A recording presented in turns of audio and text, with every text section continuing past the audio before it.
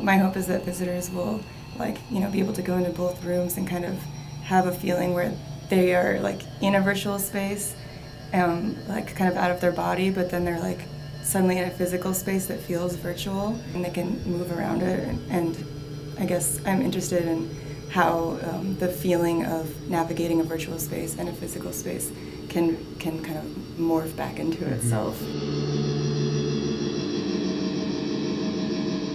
Like you know, going through a labyrinth is sort of a meditative activity, and I think of um, both the the virtual reality space and the physical space as being a kind of labyrinth that's meant for meditation. So as you like um, navigate through the corridors of the space, um, just like reflecting on the surfaces and the order of um, materials um, is sort of the experience that's meant to be had.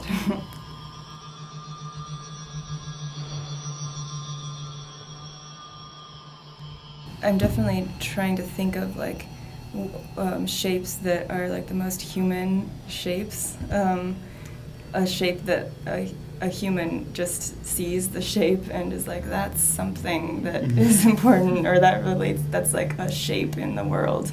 But it's sort of, you can't immediately identify it, but it feels like some kind of um, entity or. Some kind of primal resonance. Yeah. you know, your brain's always just like in all directions, and just focusing it on um, making a pattern can be like, um, I think, a very good exercise. And I think also in our installations, that's kind of a goal is to like set up a system and mm. see like what emergent patterns come out of it.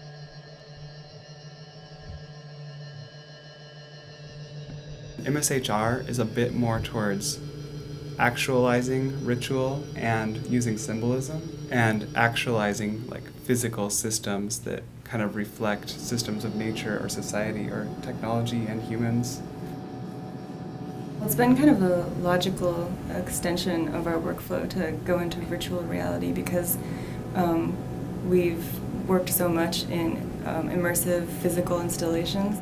Working in virtual reality spaces that can be navigated by visitors um, kind of brings that all together.